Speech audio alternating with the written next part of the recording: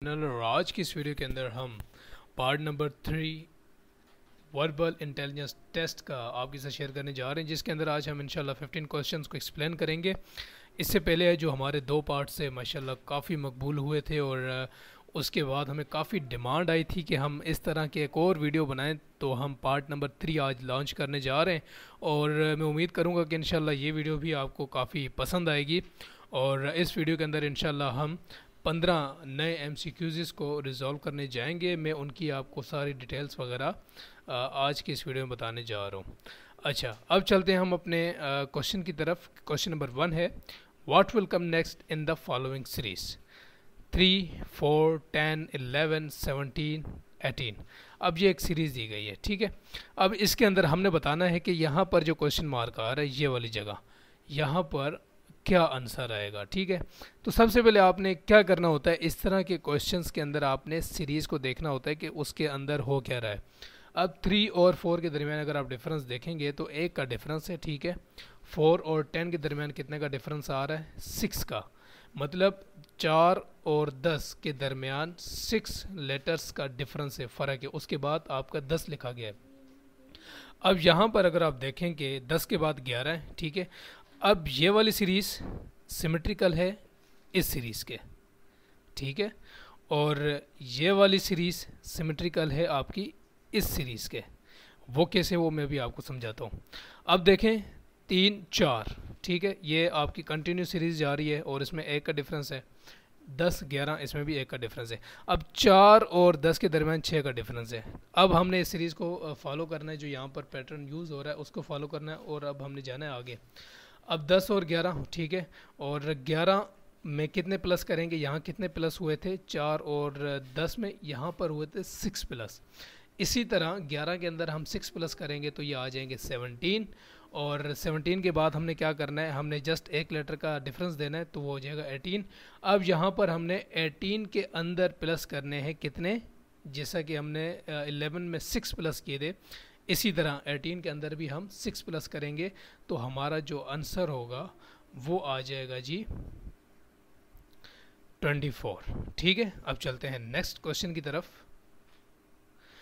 अब next question है if 18 o'clock is to six o'clock अगर ये 18 जो है, इससे मुराद 6 है then 14 o'clock is to what अब यहाँ पर हमने देखना है कि 18 जो आपने देखा होगा कि डिजिटल वॉचेस के अंदर आपका जो 12 के बाद टाइम स्टार्ट होता है वो 13, 14, 15, 16, 17 और 18 मतलब 24 तक जाता है। इस तरह से एक सीक्वेंस बनी हुई है। तो वहाँ पर इस तरीके से टाइम आपका स्टार्ट होता है। तो जब 18 होंगे घड़ी में डिजिटल घड़ी के अंदर तो उसका मतलब होता है शाम के छः बजे। तो ये बताइएगा कि जब फोर होंगे मतलब फोर्टीन होंगे तो उसका क्या मतलब होगा?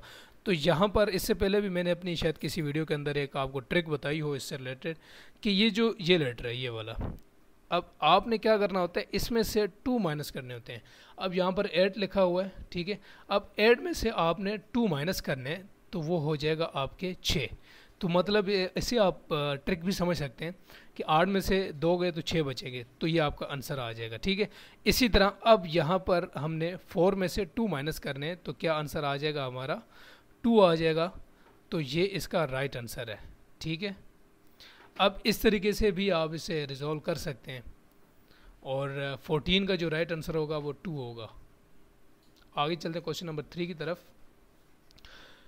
अब यहाँ पर फिर एक सीरीज़ आ रही है। अब यहाँ पर आपकी दो सीरीज़ है। पहले आपकी एक सीरीज़ हुआ करती थी, अब यहाँ पर दो सीरीज़ है। एक सीरीज़ आपकी ये है मैं उसे थोड़ा सा अंडरलाइन कर देता हूँ ताकि आपकी आपको समझने में आसानी हो। मैं इसको थोड़ा सा हाईलाइट कर देता हूँ ताकि आपकी जो अंडरस्टैंडिंग है वो थोड़ी सी आसान हो जाए। अब यहाँ पर है आपकी दो सीरीज़ एक सीरीज़ है आपकी 53, 50, 47 दूसरी सीरीज़ है आपकी 48, 45 एंड हमने बताना यहाँ पर क्या आने वाला है। अब एक सीरीज़ के अंदर देखें कि तीन लेटर्स का तीन नंबर्स का डिक्रीज़ हो रहा है। 53 में से तीन माइनस किया 50 आ गया 50 में से तीन माइनस करेंगे 47 आ जाएगा, ठीक है। इसी तरह अब हमने बताना है कि 48 में से तीन माइनस किया तो 45 हो गए और 45 में से तीन माइनस करेंगे तो क्या आएगा? 42 तो ये आपकी इस तरह की सीरीज़ भी आपके एग्ज़ाम में आती हैं। सॉरी फॉर देट और इसका राइट आंसर हो जाएगा आपका फोर्टी टू चले, अब हम चलते हैं क्वेश्चन नंबर फोर की तरफ़। Will come next in the following series two nine fourteen twenty one twenty six it is very simple यहाँ पर क्या हुआ है? आपने गौर से देखना है कि दो, नौ, चौदह, इक्कीस, छब्बीस। अब यहाँ पर आपका इंक्रीज़ आ रहा है। कैसे? कि दो और नौ के दरमियान सेवन का इंक्रीज़ आ रहा है। फिर नौ और चौदह के दरमियान पाँच का इंक्रीज़ आ रहा है। इसी तरह सात, पाँच, सात पाँच और यहाँ पर आ जाएगा आपका फिर सात। अब आपने देखें यहाँ पर करना क्या होता है। अब दो और नौ के दरमियान सात का डिफरेंस है तो यहाँ पर आपका सेवन आ गया। ठीक है, मैं इसको थोड़ा सा आपकी आसानी के लिए मैं कर देता हूँ। इसी तरह फोर्टीन और नाइन के दरमियान कितने का डिफरेंस होगा? फाइव का।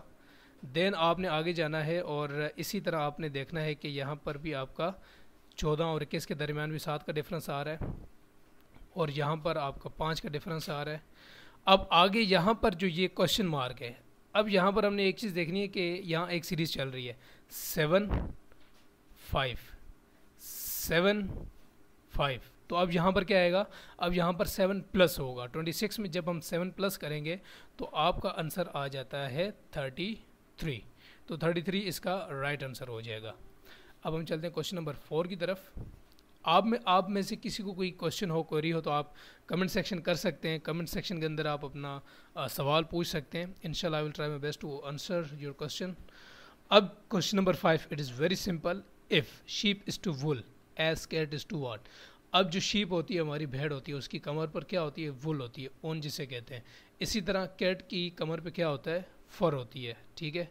तो ये इसका राइट right आंसर है। ये इट इज़ वेरी सिंपल अब हम चलते हैं आगे क्वेश्चन नंबर सिक्स की तरफ़। ये वीडियो थोड़ी सी लंबी हो सकती है लेकिन आ, जो चीज़ आपको फ़ायदा दे रही हो उसे आपने लाजमी सुनना होता है। तो इसी तरह की ये वीडियो भी है जो कि आपको काफ़ी सारा बेनिफिट देगी आपके टेस्ट से रिलेटेड अब क्वेश्चन नंबर सिक्स है लुकिंग ऑन अ पोर्ट्रेट एक शख्स एक तस्वीर की तरफ़ देख रहा है। अ मैन सेट उसने कहा तस्वीर की तरफ़ देख कर that man's father is my father son कि तस्वीर में जो शख्स है ये मेरे बाप का बेटा है।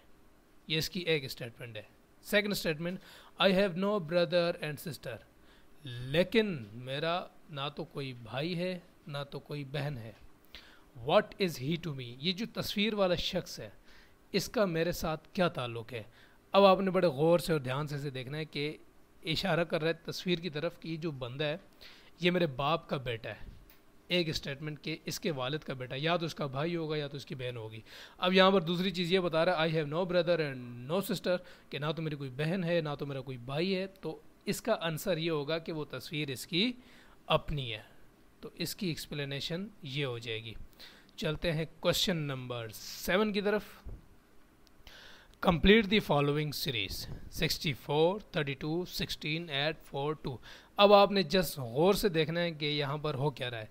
64 का हाफ़ क्या होगा? 32, 32 का हाफ़ क्या होगा? 16, 16 का हाफ़ क्या होगा? 8, 8 का हाफ़ क्या होगा? 4, 4 का हाफ़ क्या होगा? 2 एंड 2 का हाफ़ क्या होगा?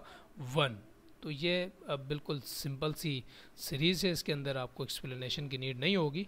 Question number eight it is also very easy question यहाँ पर दो सीरीज़ हैं। मैं आपको बता देता हूँ। फाइव सिक्स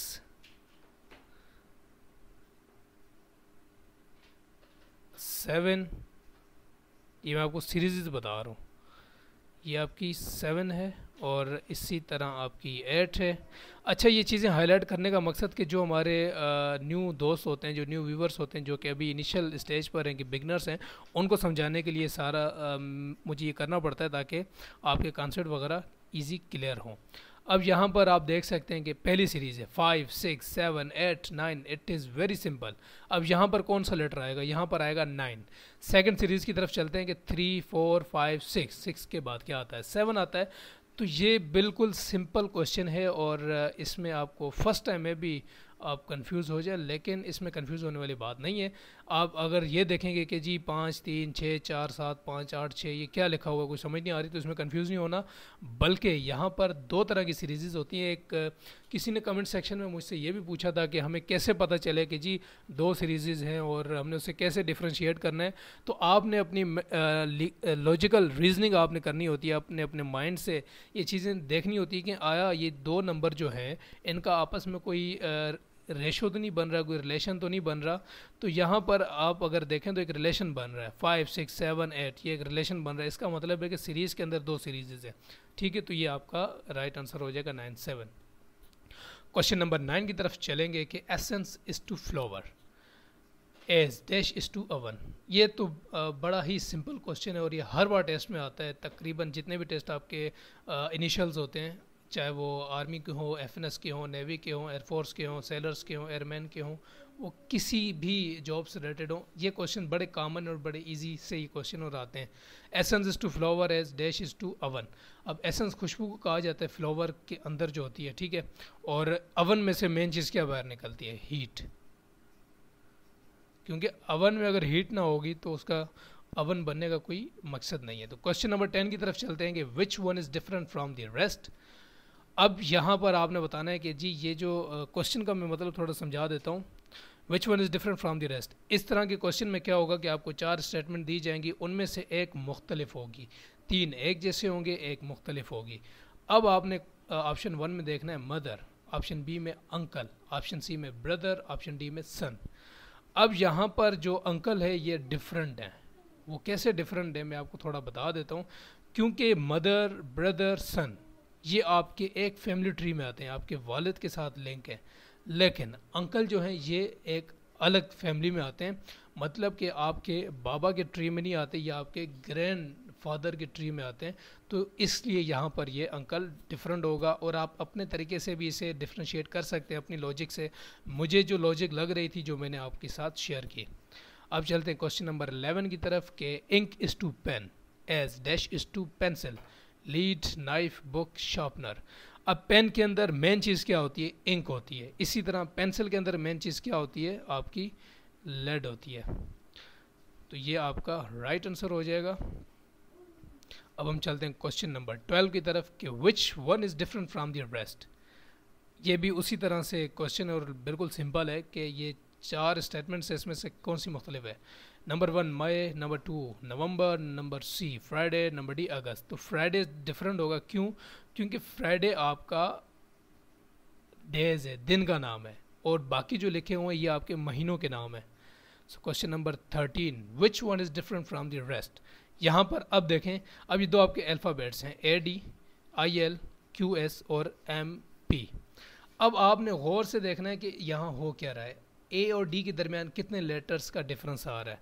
अगर आप यहाँ पर देखें तो ये ए बी सी डी तो यहाँ पर अगर आप देखें तो ए और डी के दरमियान आपका डिफरेंस आ रहा है दो लेटर्स का, ठीक है? इसी तरह आई और एल के दरमियान आपको कितना लेटर्स का डिफरेंस आ रहा है? इसमें भी आपका दो लेटर्स का डिफरेंस आ रहा है। लेकिन क्यू और एस के दरमियान दो का डिफरेंस नहीं आ रहा। इसके दरमियान आता है ए का डिफरेंस क्यू आर एस अब क्यू और एस के दरमियान वन लेटर का डिफरेंस आ रहा है तो इसका मतलब है कि क्यू एस आपका आंसर हो सकता है, लेकिन हमने फाइनल कंफर्मेशन करनी आखिरी को जाके देख के एम पी अब एम पी के दरमियान कितने का डिफरेंस आ रहा है? एम एन ओ पी ठीक है तो एम एन ओ पी से मुराद ये है कि यहाँ पर भी दो का डिफरेंस है, यहाँ पर भी आपका दो का डिफरेंस है। लेकिन जो क्यू एस है, यहाँ पर जस्ट वन लेटर का आपका डिफरेंस आ रहा है so it is your right answer अब चलते हैं क्वेश्चन नंबर फोर्टीन की तरफ़, के three years ago Rania was eight years younger than Anjum what is the difference between their ages today आठ साल पहले सॉरी तीन साल पहले रानिया अपनी बहन से छः सा, आठ साल छोटी थी. What is the difference between their ages today तो आज उनकी उम्रों का क्या फ़र्क होगा? उनकी उम्र में क्या डिफरेंट होगा? तो ये आपने देखना है, इसका आंसर होगा थ्री ये बिल्कुल सिंपल क्वेश्चन है कि अगर आप अपने भाई से चार साल छोटे हैं तो दस साल के बाद भी आप अपने भाई से चार साल ही छोटे होंगे। ये नहीं होगा कि आप बीस साल के बाद अपने भाई से पाँच साल छोटे हो जाएँ या तीन साल छोटे हो जाएँ। जो आपका एज डिफरेंस है बाय बर्थ वो पूरी ज़िंदगी के लिए रहेगा। तो ये बिल्कुल simple question common sense related है। Question number last but not least the day that dawn three days after tomorrow is Friday अब टमोरो से तीन दिन के बाद आपका फ्राइडे आ रहा है। What day of the week dawn two days before yesterday इसको थोड़ा सा आपने समझना है कि यस्टरडे से दो दिन पहले कौन सा दिन आएगा? अब आपने सबसे पहले क्या करना होता है, इसकी आपने, इसको अगर आप रिजॉल्व करेंगे किसी पेपर पे तो वो ज़्यादा आपको इजी रहेगा। तो मैं आपको थोड़ा समझा देता हूँ कि थ्री डेज़ आफ्टर टमोरो यानी कल से तीन दिन के बाद आपका फ्राइडे अब आपने क्या करना है, आपने एक पेपर लेना और वहाँ पर ये स्केच बनाना है। अब फ्राइडे से तीन दिन पहले मतलब टमोरो आपका दिन आएगा, आपका दिन आएगा मंडे ठीक है? और मंडे से एक दिन पहले मतलब अब हम बैकवर्ड पे जा रहे हैं। टमोरो के बाद, तीन दिन के बाद क्या था? फ्राइडे था। फ्राइडे में से तीन दिन आप पीछे ले आए। तो फ्राइडे से आप जब तीन दिन पीछे ले आएँगे थर्सडे वेनसडे ट्यूसडे उसके बाद टमोरो मतलब कल कौन सा दिन दिन होगा? वो होगा मंडे और आज क्या है? टमोरो मंडे है तो टुडे क्या होगा? संडे होगा। ठीक है? अब ये तो आपको क्लियर हो गया कि आज संडे है। What day of the week down two days before yesterday अब कल से दो दिन पहले कौन सा दिन आएगा? अब आपने क्या करना? आज संडे है तो कल क्या होगा? कल आपका सैटरडे होगा।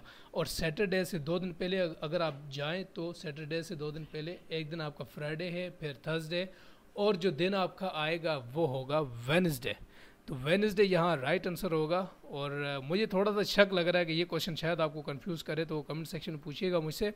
ये थी आज की वीडियो उम्मीद करता हूँ कि आपको पसंद आई होगी कमेंट सेक्शन में आपने अपने कमेंट लाजमी देने ताकि मुझे पता चले कि हम आ, क्या आपके कॉन्सेप्ट को क्लियर कर पा भी रहे हैं कि या नहीं। और अगर किसी को कोई क्वेरी है कोई क्वेश्चन है तो हम अपना व्हाट्सएप नंबर दे देते हैं। आप वहाँ पर हमसे रबता करके अपनी क्वेरीज को अपने क्वेश्चंस को रिजोल्व कर सकते हैं। मुझे दीजिएगा इजाज़त। इन मिलेंगे नेक्स्ट पार्ट के अंदर। दुआ में याद रखिएगा। अल्लाह हाफिज़।